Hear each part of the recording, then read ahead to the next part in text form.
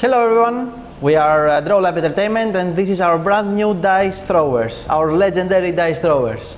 Uh, this is our new take on dice towers. It's uh, a more fun way to roll dice and as you can see we have already attached our uh, legendary catapult.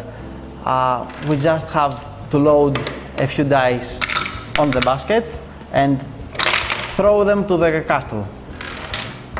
You can see that it can fit a lot of dice, any kind of dice.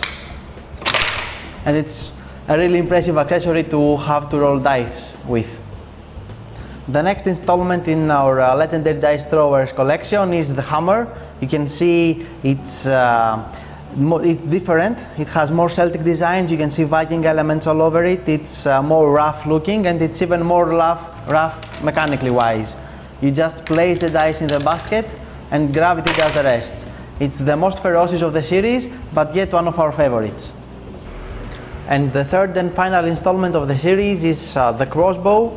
Uh, it's much more elegant. It also has uh, the Elvis uh, designs and it has the highest velocity. You place the dice in the basket again. Now you will need both hands. You hold it tight and then you roll the dice. And then you roll the dice.